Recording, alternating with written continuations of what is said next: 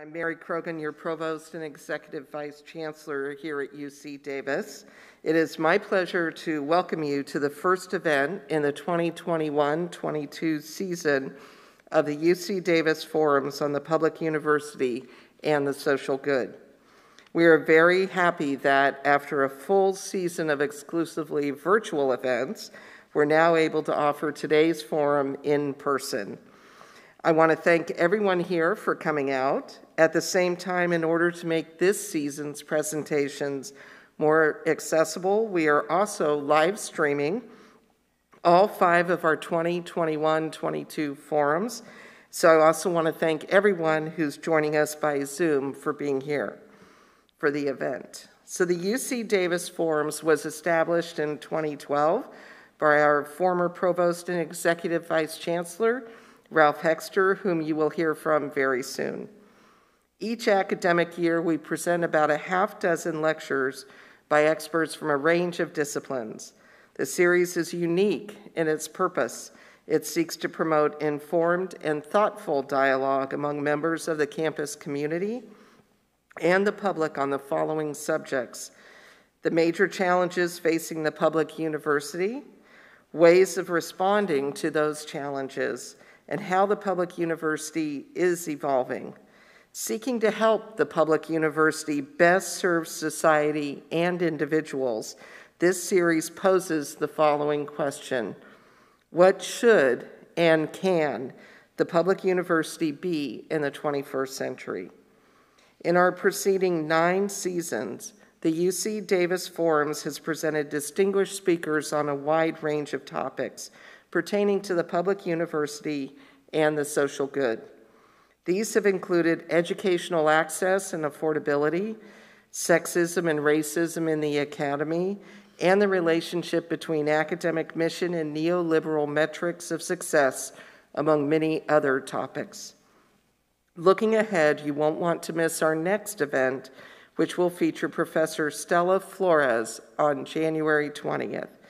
You can find information about all of this season's forums, along with descriptions and videos of past events, on the series website, forums.ucdavis.edu.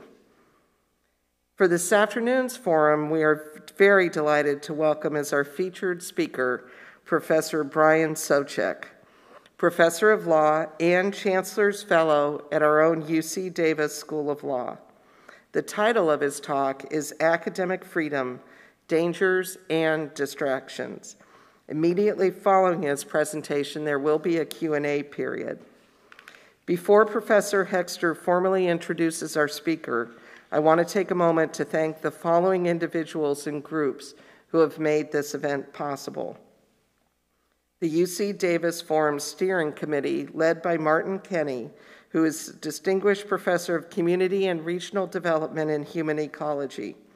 The other members of the committee are Professors Raquel Aldana, Scott Carrell, Marcela Cuellar, Jonathan Eisen, Ralph Hexter, Maisha Winn, and Mark Yarborough. The Community and Regional Development Program in the Department of Human Ecology is to be thanked. They've joined the Office of the Provost in sponsoring this event. Everyone in our audience, I'd like to thank you for making time out of your busy schedules to join us today. And with greatest appreciation, Professor Soucek for sharing your knowledge, your insights on an important and timely topic related to the public university. Now I will yield the podium to Ralph Hexter.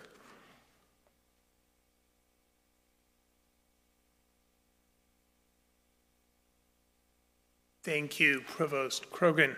It's a very great honor and pleasure for me to introduce Professor Brian Soucek, and also a bit unfair to Professor Soucek since I am not one of his colleagues at the King's School of Law any one of whom could no doubt do greater justice to his merits as a legal scholar. I will say that one of the great satisfaction of being provost at UC Davis, and I trust that Provost Croughan is discovering this on a daily basis, is becoming aware of the depth, breadth, and excellence of our faculty. I remember being impressed by Professor Soucek's academic achievements the first time I read about them, likely in a personnel file. No, impressed is too mild a term, awestruck. Professor Soucek received his BA summa cum laude in philosophy and economics from Boston College and then earned a PhD in philosophy at Columbia University, where he won the Core Preceptor Prize for his teaching in Columbia's famous humanities sequence. Before going on to law school, Professor Soucek taught for three years in the Humanities Collegiate Division and Philosophy Department at the University of Chicago, where he was also co chair of the Society of Fellows in the Liberal Arts. You can see why I recognize in Professor Soucek a fellow humanist and one of rare caliber. Not that lawyers are not humanists, of course. Professor Soucek earned his JD in 2011 from Yale Law School, whose dean, Robert Post, an emigre from UC Berkeley, is also an expert on academic freedom and was, in fact, a speaker in, on that topic in this very series in 2014. Professor Soucek distinguished himself as a law student at Yale, serving as comments editor for the Yale Law Journal and winning the Munson Prize for his work in the school's immigration clinic after clerking for the late Mark R. Kravitz, judge of the District of Connecticut, and the Honorable Guido Calabresi of the Second Circuit Court of Appeals, in 2013, Professor Soucek joined the faculty of the School of Law at UC Davis, where he is now, as provost said, a Chancellor's Fellow. Professor Soucek has published extensively, but the impact of his scholarship extends far beyond the journals. His work on free speech and, equality law has been cited by the U.S. Supreme Court in the Sixth and Seventh Circuits, referenced and excerpted in leading casebooks in immigration law, civil procedure, and sexual orientation law, discussed by the Wall Street Journal, and honored with the Dukeminier Award from UCLA's Williams uh, Institute on Sexual Orientation and Gender for the year's best article on sexual orientation and gender identity law.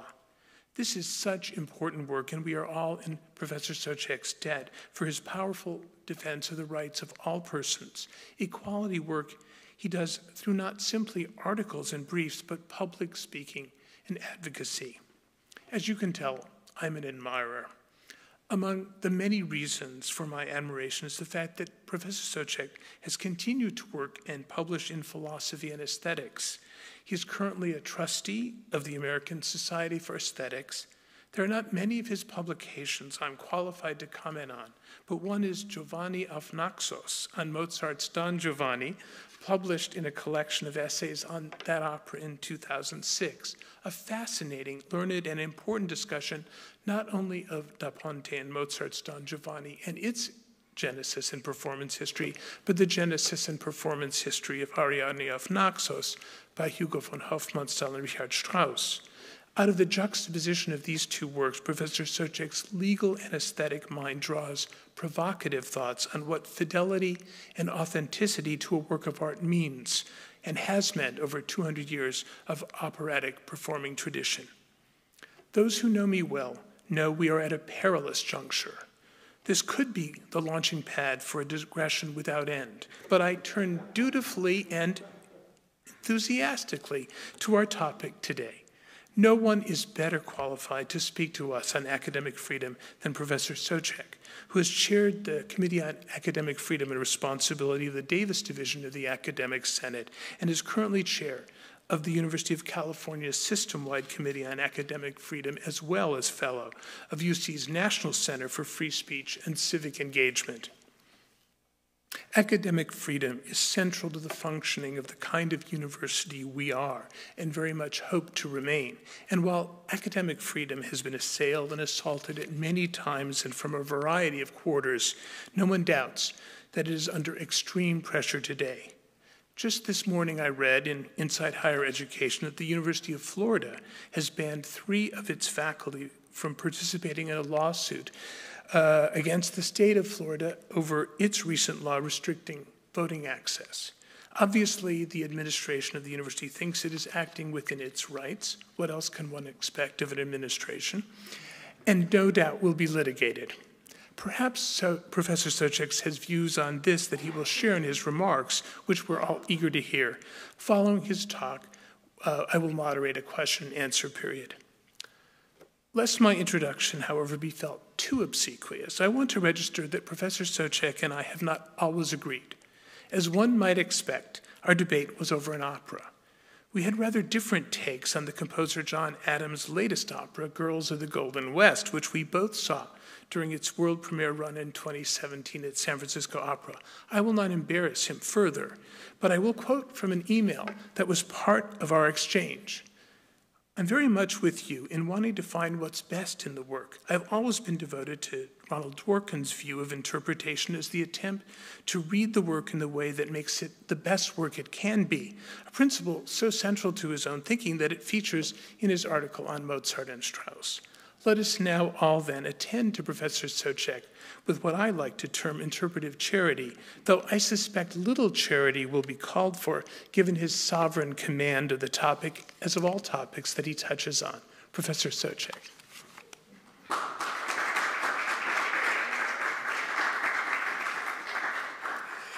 Well, that was very nice. Uh, it is such an honor to be with you here today uh, and all of you on the camera.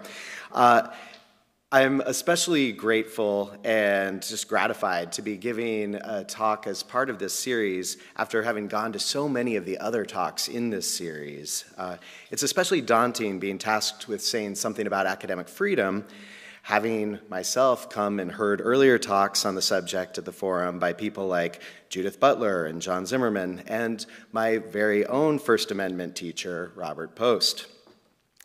Now, I've actually just finished my time as chair of the University of California's Committee on Academic Freedom. And although I don't intend my talk today to be specifically about the University of California in particular, the academic freedom dangers and distractions that I mean to focus on are ones that, in the current moment, affect or are thought to affect uh, even institutions like ours. That's to say, I'm not going to be focused, or I'm only passingly going to be focused, on the grave threats to academic freedom that keep arising in states around the country where legislators, legislatures are working to end or limit tenure, or to control or surveil discussions of critical race theory or other so called divisive concepts in their state schools, or the example that is just ongoing in Florida, as Ralph mentioned. I certainly won't be talking about the very grave dangers, even physical dangers, that scholars face in other countries around the world. My topic is an admittedly privileged one, for I'm asking about academic freedom challenges that arise not in other places out there, where the material conditions or the political commitments necessary to maintain academic freedom might be lacking. I'm asking about here and places like here, where despite our commitments to academic freedom, and despite our relatively favorable material conditions, academic freedom is still regularly seen to be under serious threat. My thesis today is that some of these threats, some of the threats that are seen, are not nearly as bad as others which aren't standardly seen as threats at all. So, my plan is to talk about three academic freedom distractions and three or maybe three and a half academic freedom dangers. The threats I'm calling dangers are at once more pervasive but less often addressed in comparison to those I'm lumping together as distractions. I'm going to start with a distraction, and it's one that hits close to home, both here at Davis and in my own work. To show it as an academic freedom distraction, requires showing what academic freedom means. Once we have in hand a better conception of what academic freedom protects, I hope we'll be able to see more clearly what academic freedom needs protection from. So let's plunge in.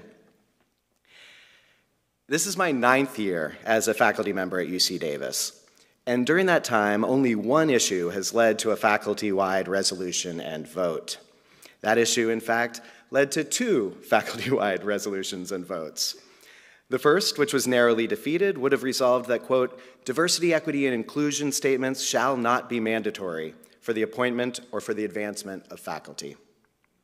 The second, which passed by a somewhat larger margin, resolved that, quote, statements describing contributions to diversity, equity, and inclusion are a useful part of a holistic review in the appointment of new faculty.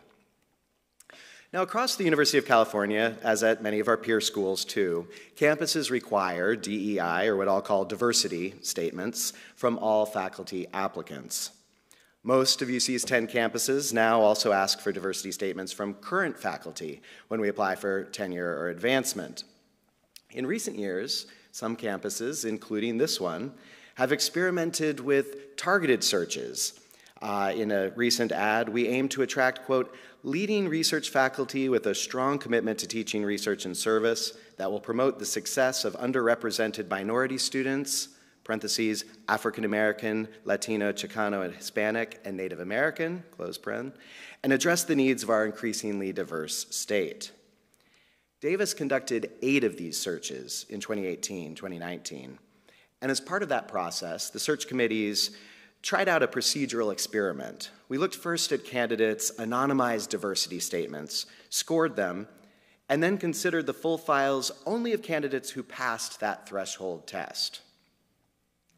Diversity statements have thus been used, albeit very differently, both in narrowly targeted and in more universalized ways within the UC statement. And critics have definitely noticed, although they haven't always noticed the distinctions between those two uses. In late 2018, uh, right after UCLA announced that it would start requiring diversity statements across the board, both in hiring and advancement, the Foundation for Individual Rights in Education, which is a leading campus free speech advocacy organization, released a statement claiming that UCLA's policy, quote, has the potential to seriously threaten academic freedom at UCLA. Linking to that statement, the former dean of Harvard's medical school took to Twitter to agree he said, As a dean of a major academic institution, I could not have said this, but I will now. Requiring such statements in applications for appointments and promotions is an affront to academic freedom and diminishes the true value of diversity, equity, and inclusion by trivializing it. Soon after that, Dean Flier expanded his tweet into a full blown essay in the Chronicle of Higher Ed.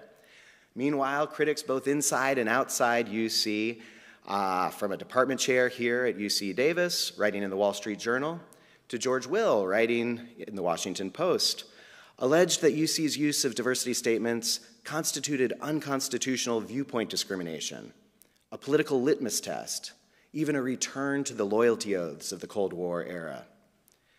Recently, conservative legal organizations have openly recruited plaintiffs to sue UC on these grounds. And these were the points that got repeated time and time again in the debate over the dueling faculty resolutions here at UC Davis.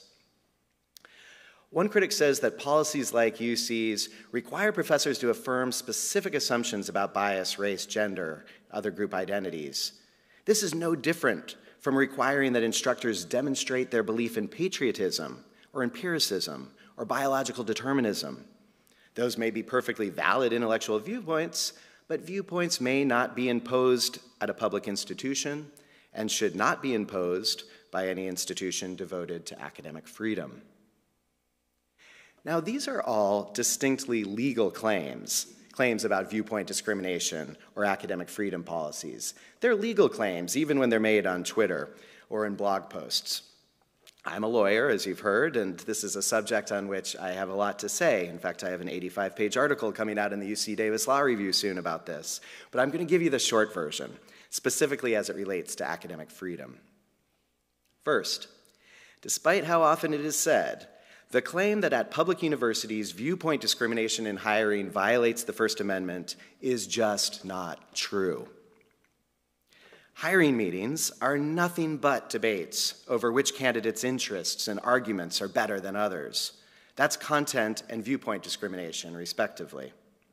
To evaluate a tenure file, for that matter, to grade an exam, is to evaluate the quality of the views expressed there. I just finished grading 79 blue books, and viewpoint discrimination happened in every single one of them.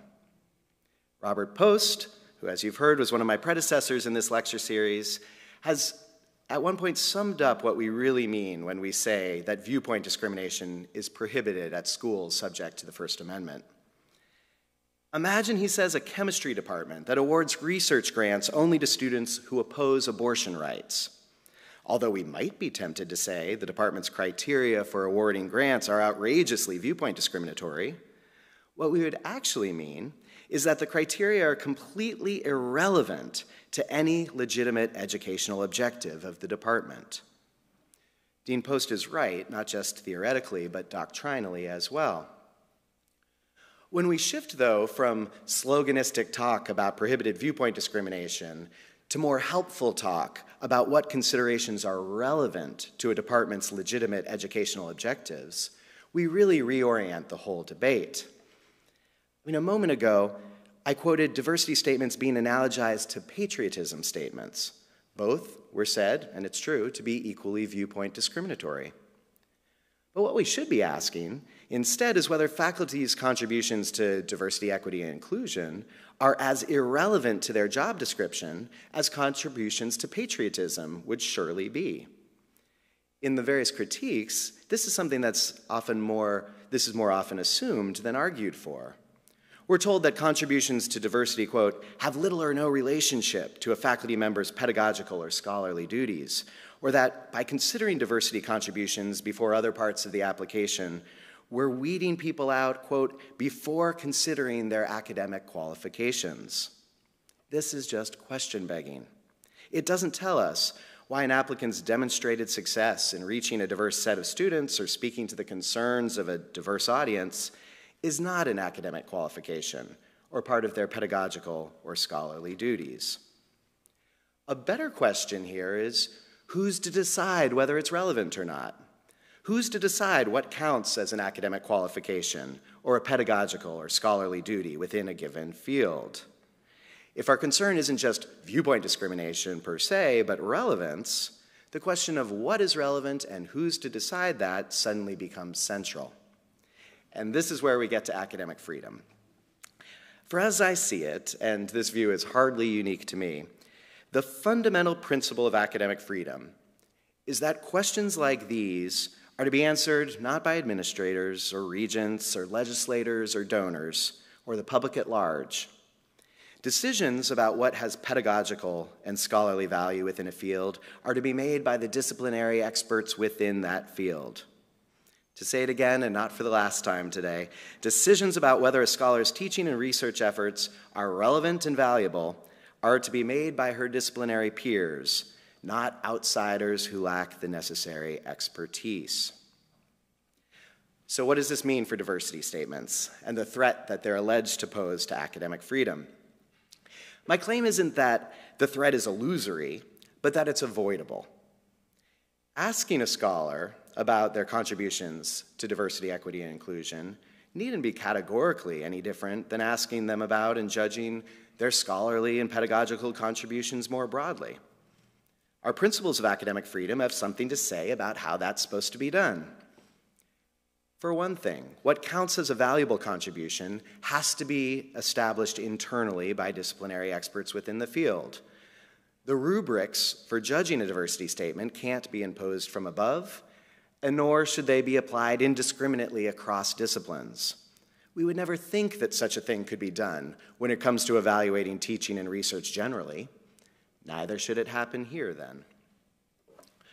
Most of the academic freedom critiques that get lodged against mandatory diversity statements turn out to be ones that would be equally applicable to any other form of peer review. So, yes, academics have to submit themselves to judgment. Yes, it's mandatory. Yes, it can go horribly wrong when factions form within a department or maybe an entire field, when self interest or friendships or laziness or bias clouds judgments, when disciplinary experts turn into reactionary cartels. Faculty set in their ways may often fail to give fair consideration to dissenting or outsider views. Viewpoints and backgrounds on the faculty may become self perpetuating. Note, nothing I have just said is unique to the evaluation of contributions to diversity. In fact, it's the very critique I read from people on the left, from minority faculty who say that these are the exact problems they face, from women faculty and others. These are problems endemic to a system in which faculty are hired, granted tenure, and given promotions and raises based almost entirely on the judgment of their peers. The solution is better, more conscientious peer review something to which I'll return, not some other system in which the relevance and works, worth of academics' teaching and research contributions are judged by someone other than their disciplinary peers. Now, a critic might still say that our institutional priorities are overly focused on diversity, or perhaps on too narrow a conception of diversity. Is this an academic freedom problem? Well, on the one hand, no. Because, of course, there's any number of institutional priorities that I might disagree with as a faculty member. I might think my institution devotes too many resources to sports, or to sciences at the expense of the humanities, or to out of state students rather than Californians, or vice versa. Is my academic freedom violated because I don't get my way there? I would say no, unless faculty are denied a voice in the system of shared governance that leads to the setting of these priorities. And this point has one really important implication for diversity statements. If faculty participation in shared governance is to be protected, then the beliefs of individual faculty members about institutional priorities cannot be dictated to them by the institution. Put simply, I can be told to advance certain institutional priorities, to do my job, in other words, but not to believe and profess my belief that those priorities are the right ones. When it comes to diversity statements, we should thus be asking what faculty have done or plan to do to contribute to diversity, equity, and inclusion. We should emphatically not be asking faculty to say how strongly they believe in those values. Again, think of the analogy with teaching statements. We ask about your success in the classroom, not about how important you think teaching is. As a result, faculty can write a top notch teaching statement, even if they believe, and go out and argue in op eds or in the faculty senate, that their institution places way too much emphasis on teaching at the expense of their research. To sum this whole first point up, and I promise the other five points aren't as long, mandated diversity statements are not a threat to academic freedom if and only if, first, they're judged by disciplinary experts within one's field using standards that are tailored to that field and the job at issue. And second, if they're framed in a way that protects the intellectual freedom of those making the statements, giving faculty space, whether as citizens or participants in shared governance, to dissent without self contradiction. These are the requirements because academic freedom means that decisions about what gets valued at a university should come from communities of disciplinary experts within the university, not mandated by administration, much less outsourced to outside parties. Okay, with academic freedom so defined, I hope you'll understand why I think that diversity statements, for all the fuss, is an academic freedom distraction that can be avoided if we do them right. But I also hope that you'll now understand what I see as a much larger, more threatening danger. And that is US News and World Report. I am in no way kidding when I say that from where I stand, US News, the defunct news magazine with the sadly non defunct annual ratings, rankings publication, is one of the most pervasive and fundamental threats to academic freedom in American higher education. I can think of no other way in which universities' decisions about who will teach, who will be taught, what they will be taught, and how they will be taught what Justice Frankfurter, quoting South African scholars, famously referred to as the four essential freedoms of a university, I know of no other way in which the exercise of those freedoms have been so, has been so thoroughly outsourced. In saying this, I'm not just meaning to repeat well known arguments about the pernicious effect university rankings have had and continue to have, the way they entrench inequalities, perpetuate privilege, homogenize the landscape of higher ed. I won't rehearse these arguments because they've been made so devastatingly by so many others. My concern here is not specifically with what educational values US News privileges, or how specifically it distorts which students get admitted, what faculty get hired, and where money gets spent at American universities. My point is just to observe how shocking it is and how egregious a violation of academic freedom it is that a private company like US News would be given any role at all in the making of these decisions. To suggest the kind of decisions a ranking scheme might affect, we might just look at the factors that were considered in this year's college rankings, as well as the factors at play in the field I know best, the law. Both rankings, for example, give weight to standardized tests and to a lesser extent, grades. SAT ACT scores currently count for 5% of the college rankings. Median LSAT and GRE scores make up 11% of a law school's rank. If more than half the applicants at a test optional college decide not to submit scores, the school gets docked 15% in this category. Schools that don't consider standardized tests are penalized even more. Now, some of the inputs measure things that I personally really like. When it comes to law rankings, I'm much happier being judged on our school's bar passage rate, 2.25%.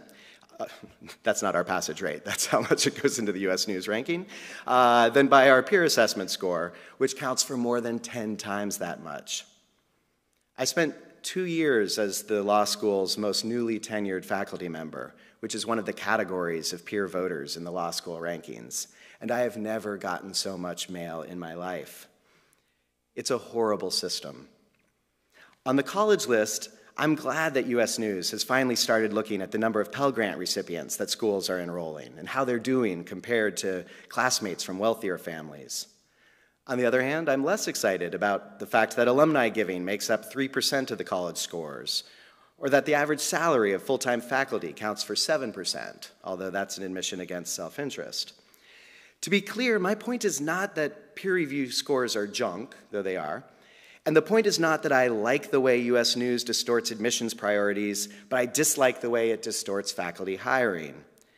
The point is that admissions and faculty hiring priorities are being distorted at all by the crew of decidedly non disciplinary experts that happen to work at US News. It's amazing to me, those worked up about the fact that administrators might be putting a pro diversity thumb on the scale when it comes to faculty hiring and advancement priorities. My 427 colleagues who voted against our use of DEI statements. I'm surprised that they're not more vocally outraged that a private company with no educational expertise whatsoever and certainly no accountability might be putting its thumb in our academic affairs on a far greater scale. But some might think this is different. US News isn't telling anybody what to teach or study. US News compiles statistics, it doesn't compel loyalty oaths. US News isn't out there getting faculty members fired or investigated. On this view, US News might be bad for higher ed, but it's not a menace to academic freedom. I think that's wrong. For one thing, I think that view relies on a common but misguided view of academic freedom as a right of certain individuals to do what they want. It's free speech for academics. I've already explained what I think is a better view. Investigations and firings are just limit cases of a far more pervasive activity that happens every day in universities. We evaluate research and teaching and student achievement. We decide what to reward, what to tolerate, and what to deem unsatisfactory or even beyond the pale. Academic freedom isn't freedom from this judgment, it's freedom from being evaluated by the wrong judges. Evaluations are the lifeblood of the university, and those evaluations just can't be outsourced. And look at how they're being outsourced here. US News might not be telling anyone what to teach or research, but it's nonetheless shaping universities' choices about what gets taught and who gets taught and by whom. At the law school, I have certainly never been told to make a teaching or research or hiring or admissions decision with an eye to our US News rankings. In faculty meetings and in the press, my dean de emphasizes the rankings as much as he possibly can without ignoring them entirely. And yet, I have to wonder what our student body would look like if we could choose without external penalty not to care about median LSAT scores. If GPAs weren't getting scored, would we end up with more students from the sciences or other majors that have traditionally lower grade point averages? Would our students have chosen a more challenging curriculum as undergrads? Would we maybe have more faculty in the law school who are teaching California specific law, California civil procedure, California constitutional law? Important as those topics are, scholarship on them has a more limited audience and less impact on peer review scores than their federal law counterparts. I'm sure similar questions could be asked in every other school and department. The effect of rankings, the perniciousness of outside in interference, this just doesn't get called out as an academic freedom concern. To see this, just consider uh, the University of Chicago, which is widely seen, certainly seen by itself, as having the strongest commitment to free speech and academic freedom of any university in the country. At Chicago, free speech is an export industry. Campaigns are waged across the country even now to get other universities to sign on to the so called Chicago Statement on Free Expression, which was released in 2015. Over 80 other schools have signed on since. Just this summer, the University of Virginia became one of the latest. The statement, the Chicago Statement, repeats the conclusion of the famous 1967 Kalven Committee report at Chicago which argued that institutional positions on political or social issues are incompatible with the academic freedom of people within the institution. Chicago and its many followers, this university not among them, sees its faculty as snowflakes whose independence of thought might melt away should their institution express a view different from theirs. But even with these commitments, these vocal and self satisfied commitments to academic freedom, Chicago is still willing to outsource fundamental academics decisions to US News. Take admissions. At least when I taught at Chicago 15 years ago, building its distinctively quirky, idea loving, kind of intense student body was seen as so central to the university's character that all faculty members were asked to read undergraduate admissions files. Chicago prided itself on refusing to join the Common App the application form used by most universities in the US.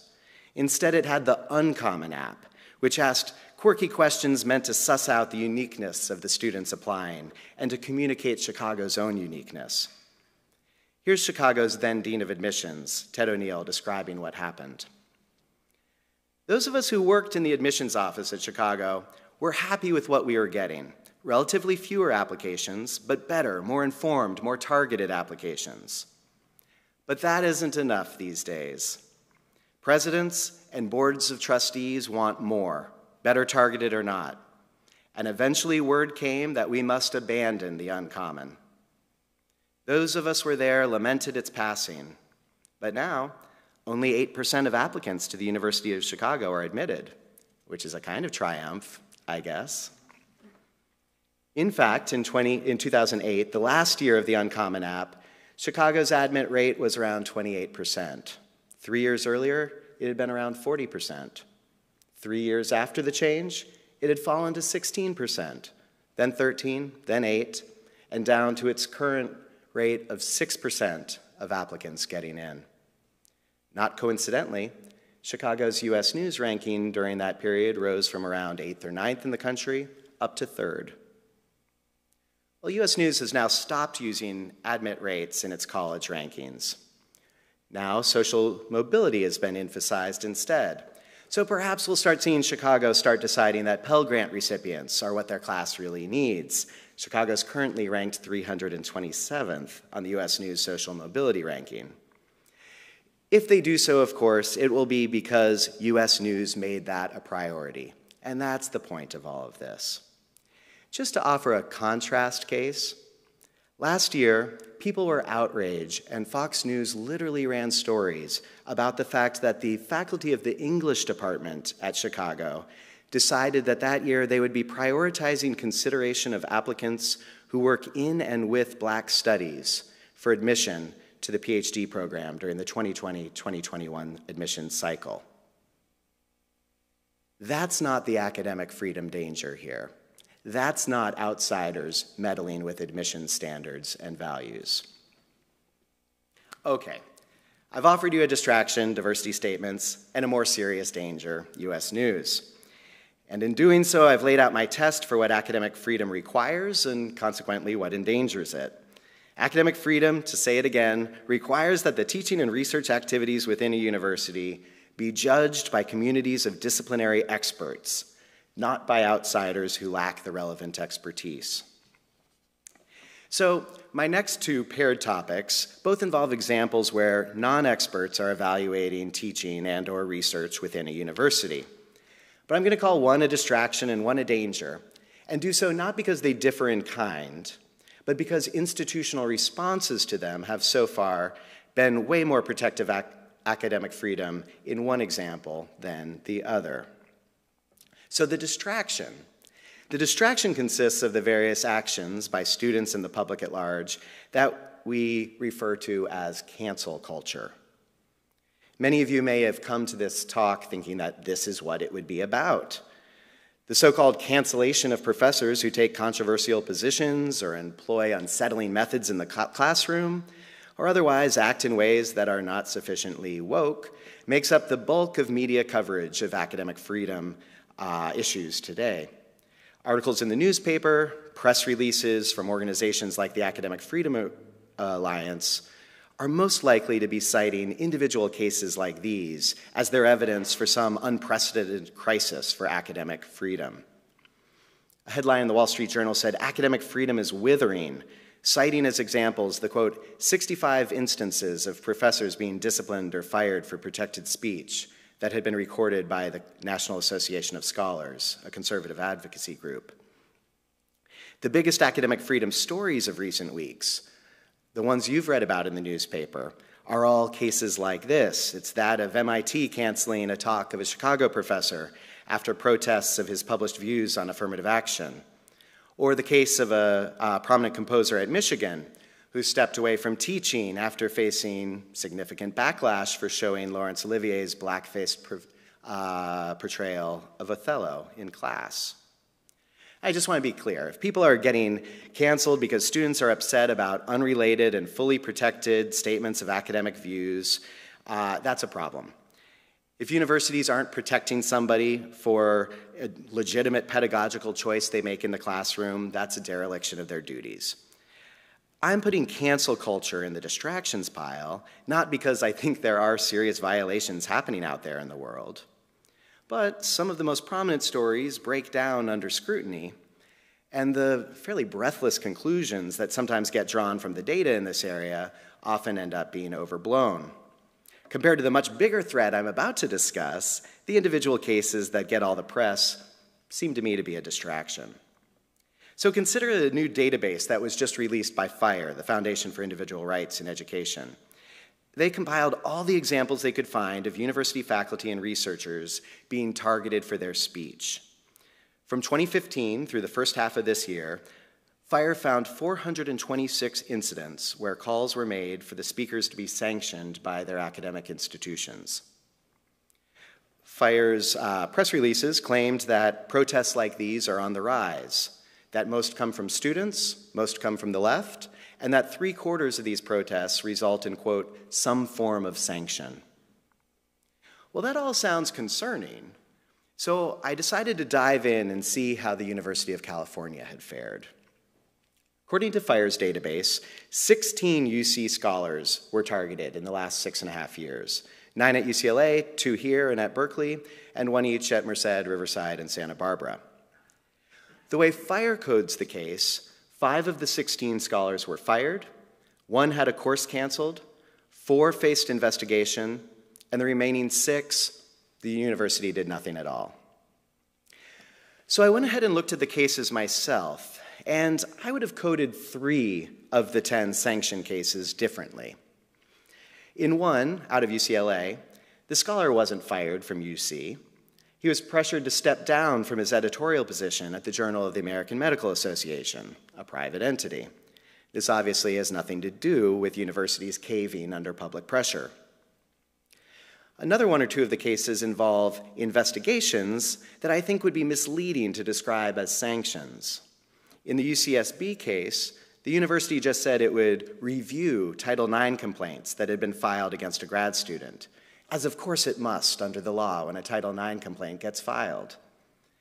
In a case on this campus, Fire itself wrote a press release at the time the case happened with the headline, quote, UC Davis confirms professor will not be investigated for years old tweets.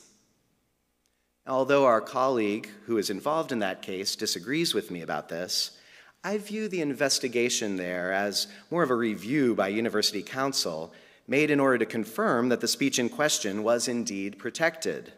This, I think, is exactly the kind of response to outside pressure we'd want and academic freedom champions should want to see. All told, then, in six and a half years, assuming the rest of the data are correct, a total of seven academics at UC faced some form of sanction for their speech. If my math is right, that's one hundredth of a percent of the academic appointees in the UC system right now. One in 10,000 in six and a half years. I can't say I see that as a crisis. Again, that's not to diminish the importance of any academic freedom violations that have occurred, especially the people involved. But I do want to point out that FIRE's database doesn't include instances where academics are targeted and harassed, often by highly organized outside organizations. They don't include it so long as the harassment doesn't include calls for institutional sanction. By putting all this in the distraction column, my point is just this. The hand wringing about cancel culture, the chilling effects of cancel culture, of students waging campaigns against their professors, distracts us from what are surely the vastly larger chilling effects caused by a form of student speech which the university actually facilitates. And here, I'm talking about student teaching evaluations. So, if, as I've been arguing, the central principle of academic freedom is that teaching and scholarship in the university is to be judged by our disciplinary peers, then outsourcing the evaluation of teaching to someone other than disciplinary experts, students, for example, is clearly a violation of academic freedom. Now, that's not to say that asking students about their experiences in class can't produce incredibly valuable information.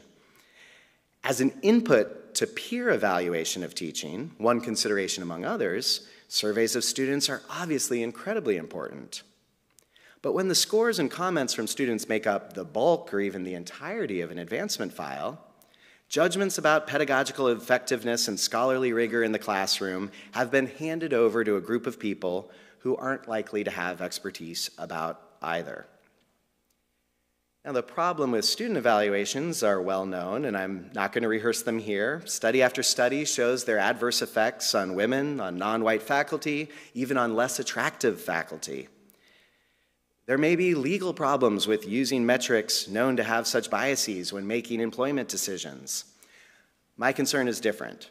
It's that outsourcing evaluations of teaching quality to people other than disciplinary experts is sure to skew what gets taught and how.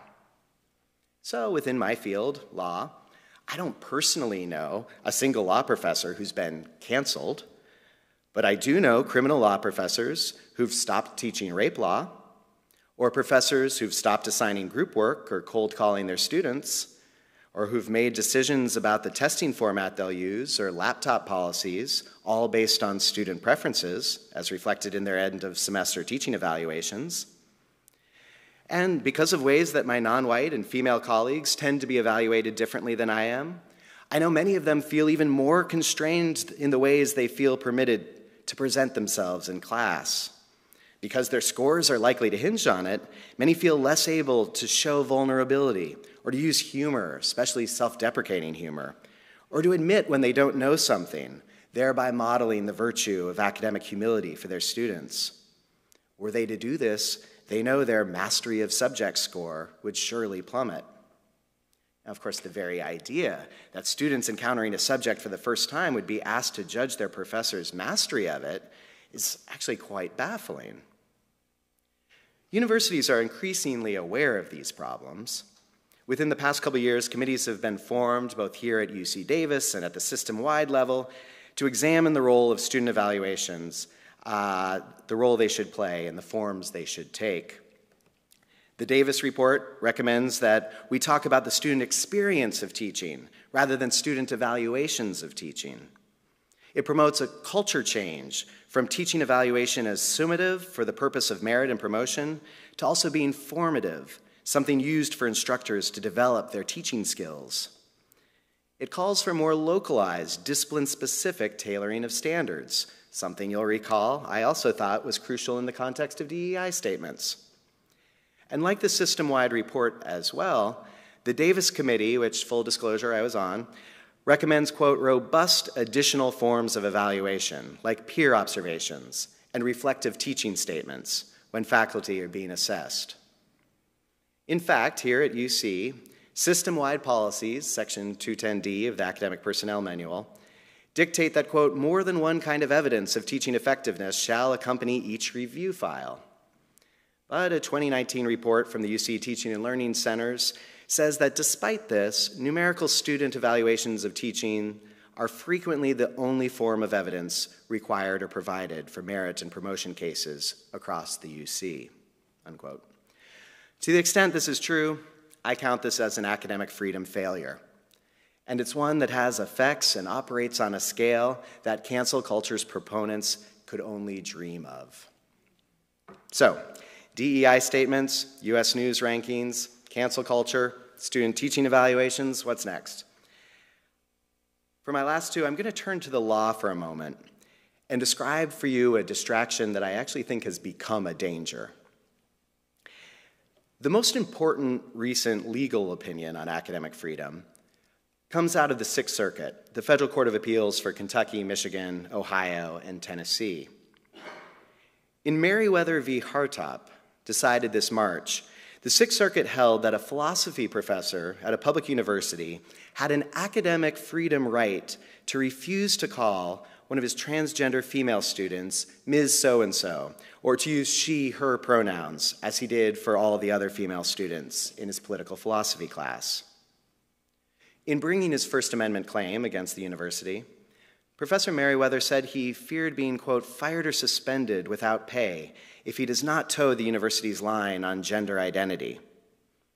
In light of his fears, he said he cannot address, quote, a high profile issue of public concern that has significant philosophical implications.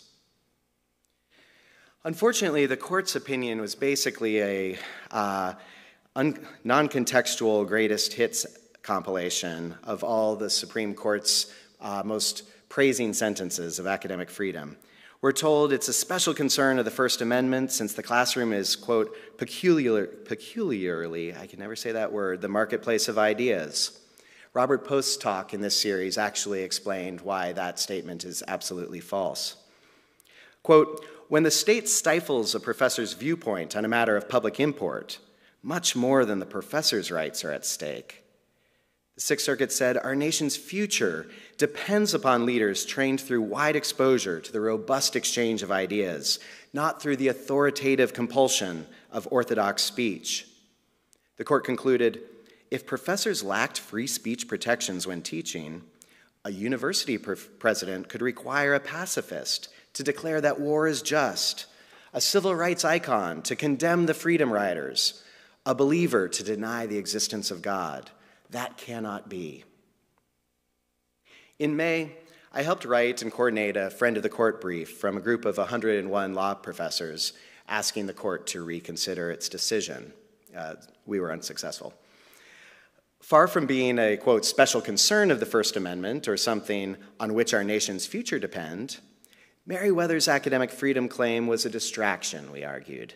In fact, a distortion of what true academic freedom means.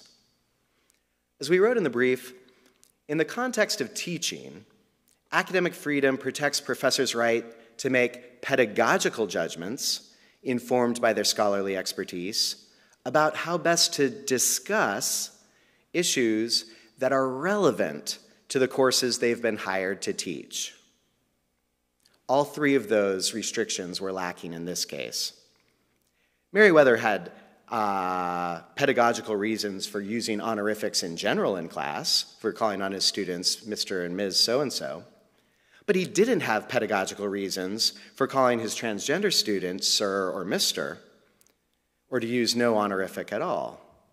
He had political or religious reasons for doing so.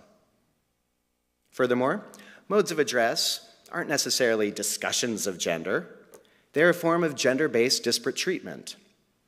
And even if that last point is wrong, even if we were to assume that Meriwether was expressing a view on gender every single time he called on that student, that repeated statement of his views in presumably every class, no matter its topic, would hardly be relevant to the course.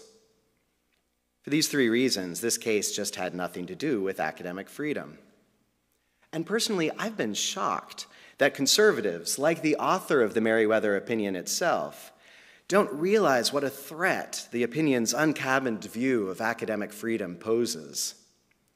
If professors at public schools have a First Amendment right to express their religious or political views in class as often as they want, no matter the subject of the class, there would be nothing to check the conservative nightmare of a liberal professoriate constantly working to indoctrinate the students.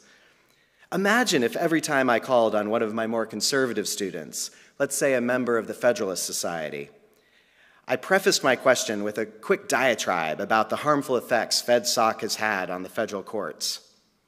Surely this would be inappropriate and should be unprotected, even if the diatribes are loosely related to my course's topic, if they're based on my deeply held political beliefs, or even if they're on a matter of public concern, as they surely are. The Meriwether Opinion's view of academic freedom is one that would shield me from discipline and tie the university's hands even if I were to act as inappropriately as that. Meriwether is a case that treats academic freedom as just free speech for professors. I've already said that's not what free academic freedom means. And that's why Meriwether's complaint, which I think is him either saying, I can't treat my trans students differently than my cisgender students, or I can't keep bringing up my theories of gender in any class I want, I think that's a distraction. That complaint is a distraction from an academic freedom standpoint. But I think the Sixth Circuit's treatment of that complaint is a danger, and it's actually a pretty fundamental one. In part, the danger is political. If we started treating academic freedom like the Sixth Circuit did, and permitting the kind of political speech untethered to pedagogical concerns that Meriwether protects, academic freedom is likely to lose what public support it still has. Legislators and voters aren't going to be happy about the potential for indoctrination. And there's no good reason why professors should be able to bring personal, political, and religious views into the workplace in ways that ordinary public employees cannot. I think the danger is not just a political one in Meriwether, though, but also a more theoretical one, in that the Meriwether conception of academic freedom undermines something academ- uh, absolutely central to the concept. And this, I'll just say, is the last of the dangers I'm going to be talking about today. Here at UC Davis, our Senate Committee on Academic Freedom is actually called CAFR, the Committee on Academic Freedom and Responsibility. And that's exactly how it should be. The committee's name emphasizes what the Meriwether Court ignores the fact that academic freedom rights all come with corresponding responsibilities. University teachers enjoy incredible leeway in using their scholarly and pedagogical expertise to make decisions about what and how to teach. We're given an enormous power to judge things that our students and our colleagues write and say. But these judgments have to be based on our disciplinary expertise, not our free floating political or moral or religious beliefs, much less our own personal biases. As we saw in the discussion of diversity statements, the viewpoint discrimination we're given the liberty to employ when making the judgments necessary for good instruction, for admissions, for hiring, and for tenure and advancement, that comes with a major constraint that we're employing criteria relevant to our class, to the job at hand, to the field. The Meriwether Court's conception of academic freedom without responsibility omits any need to limit our in class expression to that which is pedagogically relevant and substantively sound. I want to generalize this point. If, as I keep saying, academic freedom is a freedom to have one's academic work judged by other experts in the discipline, not by administrators, students, donors, politicians, defunct news magazines, or an outraged public. This whole system depends on the good faith, well considered judgments of those other experts in your discipline. This, it has to be said, is a tough ask. Doing it right imposes onerous demands. At so many points and in so many ways, the temptation to use proxies for quality rather than engaging in general, ge- genuine peer review is a strong one, given all the other demands on our time at work and at home, not least during a pandemic. Judging faculty candidates by their schools or the names of their recommenders, judging them and our colleagues by the number of words in their articles or the placement of the articles rather than their content. Outsourcing these decisions to students, relying on student evaluation scores rather than peer visits when evaluating teachers, looking at demographics and catchphrases rather than past actions and clear plans when evaluating contributions to diversity, equity, and inclusion. These are all failures of academic responsibility and therefore all threats to academic freedom. While we need to underscore the review in peer review and acknowledge and hopefully give space and support for the heavy demands it imposes on faculty, we also have to underscore the peer in peer review. If a university's core missions of teaching, research, and the public dissemination of knowledge get entrusted ever, ever more to a precarious workforce of scholars who aren't treated as peers, academic freedom becomes a sometime thing, not a defining feature of the university.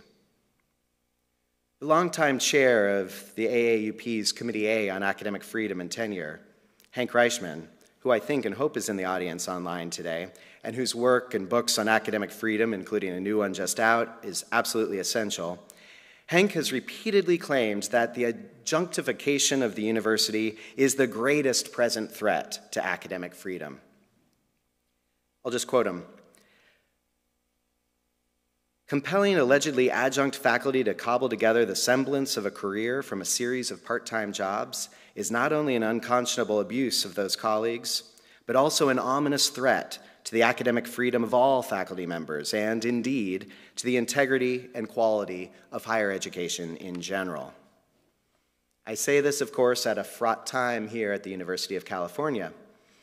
Our non Senate faculty colleagues, the lecturers represented by UCAFT, have authorized a strike and their ongoing negotiations with the Office of the President. I'm hardly the most knowledgeable person in this room about most of the issues that divide the two sides, so I'm just going to say something about the stakes for academic freedom. First, just to clarify, lecturers at the University of California have the same academic freedom in their teaching and research as I or any other Senate faculty member has. We're all protected under the exact same policy, APM 010. For two years now, a new policy, APM 011, which I was very proud to help draft, has extended protections to non faculty academic appointees, like librarians, when they're engaged in teaching, research, and other professional activities uh, when there's nationally recognized professional standards applicable. So, in principle, everything I've said today about academic freedom applies to my colleagues who have the word lecturer in their title to the exact same extent as those with professor before their name. It's harder, though, to see how these paper protections get put into practice for the over 6,000 lecturers in the system who together teach something like a third of our undergraduate courses. Lecturers get job security after they pass an excellence review after six years of teaching, but before that, they have currently term by term employment, and turnover has been reported to be around 25%. The length of these appointments is part of the current negotiations, but importantly and relevantly here, so too is the presence, or currently the absence, of a formal review of pre six lecturers' work. You probably know what I'm going to say by now but I'll say it anyway. If peer review is a necessary condition of academic freedom in teaching and research, then a sizable chunk of our faculty doesn't currently enjoy actual academic freedom.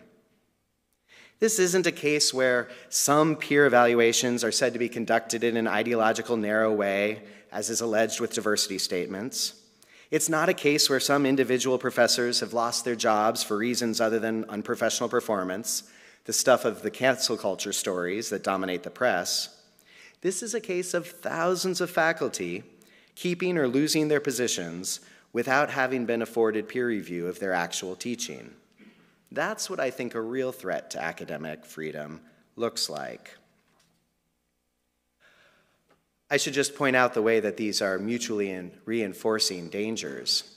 Uh, I said before that the average salary of professors counts for 7% uh, of the US News undergraduate rankings, so it helps to pay your professors a lot. At the same time, US News gives 8% to the size of classes, so we need a lot of instructors. What's the solution? Well, having non professors teaching classes. The fact that the ratio of part time to full time faculty only counts for 1% of the US News ranking means schools can take this solution without taking much of a hit. This is yet another cost of outsourcing academic decision making priorities to US News.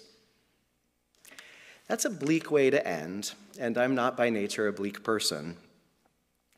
So I'll just say this. Unlike some of the threats that I've called distractions, for example, a general culture of intolerance imposing its orthodoxy on the marketplace of ideas at the university, the threats that I've identified as true dangers are ones that we faculty have a real ability to control. We don't need to rely on others to make our academic judgments. It's, of course, a lot more work when we do it ourselves, and I'm not meaning to underemphasize the burdens. But we all know that the best way to get work done is sometimes just to avoid distractions. So thanks again for engaging with me today. I'm really grateful.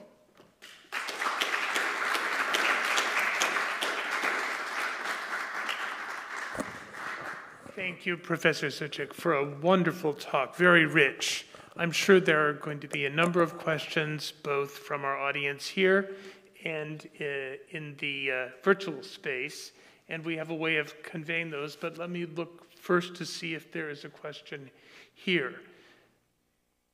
Yeah, Martin.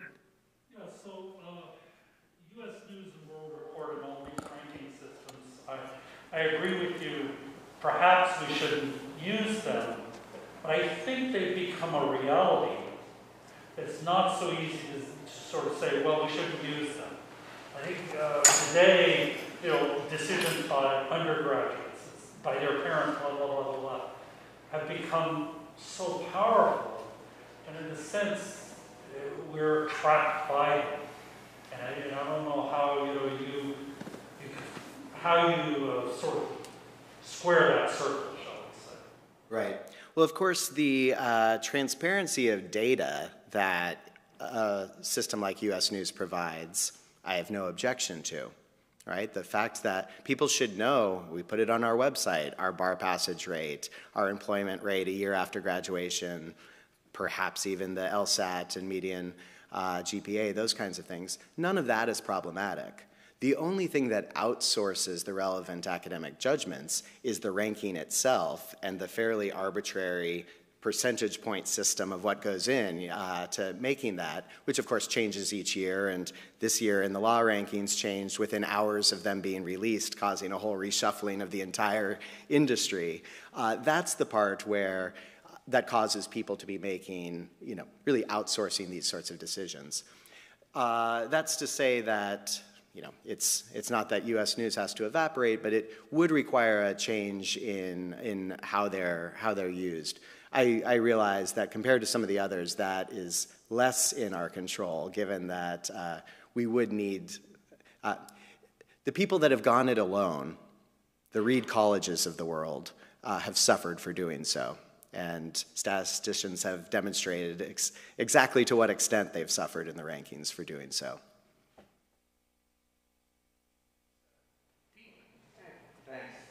Thanks, Brian, for your, for your remarks. I think we're on the same page on U.S. News.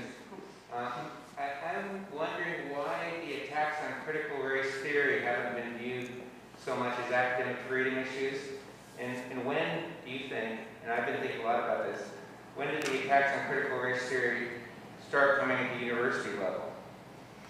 Yeah, uh, thanks, Kevin. Um, one thing I said, uh, be, I think before you arrived, was that I was going to try to focus on academic freedom dangers at the most privileged of places, uh, where we've got a supportive legislature and relatively good resources uh, compared to those places where the legislature is coming for tenure, where it's coming for critical race uh, teaching and, in fact, all divisive concepts, uh, that sort of thing. And that's not in any way to slight those as problems. Those are uh, those would be on my dangers list, to be sure. Uh, the the thought of a legislature trying to interfere with what's taught at the university is the very definition of what of, a, of an academic freedom violation as as I've defined it. So yeah, the fact that I was focusing here on the fact that even at places like this, it's said that we're in an academic a time of academic freedom crisis. Why is that? What does that mean? You know, despite the fact that our legislature isn't coming after our critical race teaching colleagues, um, thankfully, since that's most of our colleagues. I, uh, I will say one thing that, on that, though, which is I think a lot of the distractions have a political cost that's directly relevant to what you're talking about. That the crisis narrative itself, especially as it arises from cancel culture and that sort of thing, especially the way it's framed as a culture arising from an intolerant uh, culture of students coming from the left that demands a sort of orthodoxy that crisis narrative has given rise to legislative interventions. That's the sort of narrative. Those are the studies that legislators point to when they say, we need to get involved in this public education system in Florida or in Iowa or in Texas or Oklahoma. Uh, because just look at the study about how students don't feel safe to speak, to express themselves as conservatives. So we're going to start having surveys and manage what gets taught and that kind of thing. So I think there's a real danger even from academic, from organizations devoted to promoting academic freedom the way they frame their studies, the kinds of press releases that they issue, can actually prompt further threats and worse threats to academic freedom from above. just interested in your thoughts on the case at University of Florida with three faculty being banned by their university from testifying uh, and what that plays out. The claim by the university that they are a public institution and they can't risk jeopardizing the relationship of the university and support from the legislature to me is just an enigma. So I'd love to hear. Right. So the most recent thing that I read, the most recent press release I read from the University of Florida, uh, emphasized the fact that these were full-time uh, employees asking permission uh, or reporting outside paid labor, outside paid work, which, you know, of course, we we file such reports every year uh, for any outside paid activities that we engage in. The problem, of course, is that under the First Amendment, you could have a policy saying that I can't do any outside labor, but you can't pick and choose what outside labor I do based on the viewpoint I'm going to express as part of that labor. It's just a blatant First Amendment uh, violation. I, for me, it's almost easy, it's, it's far easier to see it just in straight up First Amendment terms as, of the same for any government employee as opposed to some specifically academic freedom type issue. These are just professors speaking on their own time uh, and angering higher ups in the government as they do so. That's a definition of First Amendment retaliation. Is there a question from the, the virtual world?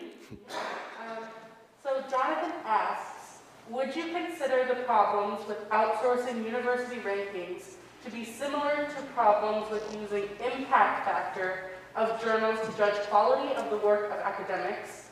In other words, do you consider things like impact factor of journals to be another form of outsourcing evaluation? Yeah, that's a really great question. Did everybody in the virtual world hear you, Emily? Are you mic'd? Uh, the question was whether impact scores, uh, you know, scores that evaluate the impact of your scholarship that then get incorporated into rankings of various faculties, is a type of outsourcing like what I complained about in US News. And it's a great question because, on the one hand, it seems better than outsourcing to US News because we're not looking to some random employees at a private magazine. We're actually looking to how are people in the field using your work. So that's a big step up. On the other hand, of course, using impact rankings is going to have effects like, for example, uh, within my field, the number of people who read constitutional law scholarship is vastly larger than the number of people that read feminist scholarship or tax scholarship. And so, if what we're looking at is just an impact rating, the number of citations, when you look at the top 20 cited scholars in each of those subfields within the law, rankings have been coming out on uh, Brian Leiter's blog recently, where he does just that. And uh, my dean was recently at the top of one of those lists. If you look at the list that, uh, that Kevin was on, and compare it, say, to the list of people in constitutional law, you know, you could be 20th in the con law list and be dominating the tax list or something like that. So these kinds of metrics do have a similar kind of outsourcing effect in the sense that it provides a strong incentive for schools that want to maximize their ratings in these peer impact scores to really be emphasizing the hiring of faculty that are in the high citation subfields.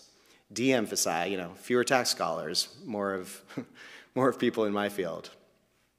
It's a great question. question there? Sir. Yeah.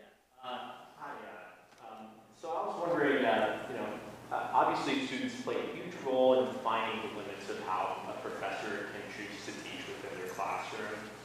And I was wondering, um, as we play such a substantial role in this ongoing situation, is there a way for us to fit into the dialogue, not as like arbiters for know, here's how you teach, but rather as enablers for allowing that sort of free speech and within the, the professors.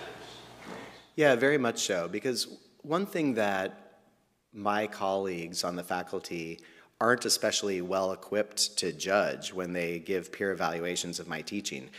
Let me say the other. They are very well equipped to judge the pedagogy, the substance of what I say. You know, do I know what I'm talking about when I teach you civil procedure? That kind of thing. They're quite good at that.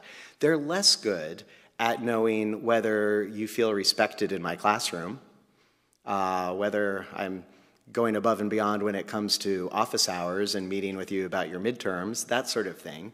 You know, they're not there for that. Uh, those are the kinds of things. You know, how clear are my how, how clear is the organization of my class? They can look at my syllabus, and that's something that's a good part of peer assessments, but uh, you're the one who's actually experiencing it.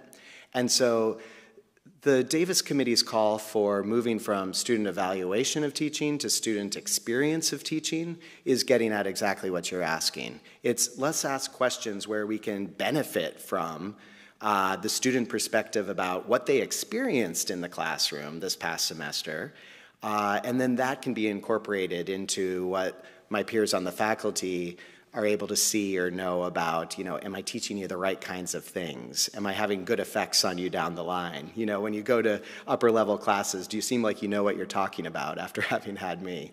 That kind of thing. Uh, so it would be those two things working together. Uh, I don't remember you said that the inclusion of the DEI statements was just UC Davis UC-wide? UC-wide. Okay, so in a situation like that, since your argument was that it should be, um, or at least the way I understood it was it should kind of be department by department, whether um, DEI statements are something important and relevant to the material you're dealing with and stuff. How do you, I guess, reconcile that with um, something like a UC-wide? Uh, yeah, very good. Uh, I didn't I didn't clarify this, so thanks for giving me the chance to. I have no problem with a university wide or a top down mandate, meaning we're going to require these statements as part of your application for new faculty or your advancement file for current faculty as we get tenure or go for a promotion. That's fine with me. That's what we do with other aspects of the application. We tell you what to report. Uh, what would be problematic is how that gets evaluated. So, you know, we might ask everybody within the system to have the following four components every time they go up for tenure or a raise. That's fine, but of course, how you evaluate the teaching, scholarship, and service is going to look very different in the chemistry department than in the School of Law. You know, so we're quite used to the idea that teaching and mentorship and research in general is going to be evaluated very differently in theater than in sociology and you know, the veterinary school, et cetera, right? Nobody, that's not strange to anybody. And yet suddenly with diversity statements, sometimes it's seen, because it's not seen as tied as an inherent part of somebody's job description, their teaching service and research. It's seen as something extra or extraneous, then the thought is that it could be somehow standardized across the university. But that's just not true. What it means in my, my life as a philosopher of art, what it means to contribute to diversity, equity, inclusion, is quite different than what it means in, in the law school. You know, within philosophy of art, for example, we're thinking about what artworks are we using as examples? You know, how are we diversifying the set of philosophers or just the very issues that we're bringing up as philosophically relevant questions in class? Whereas, you know, I'm over here doing amicus work or stuff like that in order, you know, that has DEI implications within law. Thanks. we have another question from virtual space. Everyone hear me? Yep. Okay. We're running low on time, so this might have to be our last question. Um, and it's from Hank, who you gave a shout out to. um, he says, Thank you, Brian, for a terrific talk and for your kind reference to my own work. You correctly note the, the connection between academic freedom and responsibility, but given your focus in the talk on institutions that are, with respect to academic freedom, most privileged, what do you believe are the responsibilities of faculty members in institutions like the UC, or even more privileged, say the Ivies, are to the defense of academic freedom in higher education more generally? Mm. Yeah, that's, that, that, that, that's a tough one, Hank. Um, and I'm glad to hear that you're, you're here. Thank you so much. Uh, I mean, aside from joining the AAUP or doing work like that, like, like Hank himself has, has long done, uh, that kind of solidarity is, is certainly important. Um, you know, in, I think institutions of privilege, as you say, like the University of California and even more so like the Ivies, uh, swallow up a vastly disproportionate share of the coverage of these kinds of issues. Uh, the, the sorts of the, the tempest in the teapot at Yale Law School each week, you know, is, is dominant. I, I see more in my news feeds uh, about a, a, DEI controversy among kind of low-level administrators at the Yale Law School than I've seen about, uh, you know, some of the more serious threats, including the kinds of restrictions on teaching critical race theory and other quote unquote divisive concepts, the thing that Dean Johnson was referring to. Uh, and th that's where we're losing the focus. And so, in reorienting us here at even a place of privilege from the very individualized kinds of disputes that tend to dominate the press to these more systemic issues of how we do our responsibilities uh, in order to promote academic freedom, those are, I think those are more transportable problems. They're problems that, uh, where we have a lot more in common uh, with people at other places ultimately. But it's absolutely the case that uh, we, and especially those who are covering us in the press, uh, need not to get distracted by the, the flashy uh, the flashy controversies at the, the top of the higher ed food chain.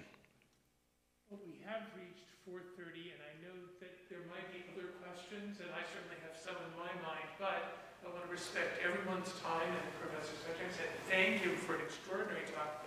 For those of us who are here in the Alumni uh, Center, there is a small reception outside, and uh, we can um, trouble you more with our questions there. But let's give Professor Soucek quite a round of applause. Thanks everybody online for joining as well. Thank you all.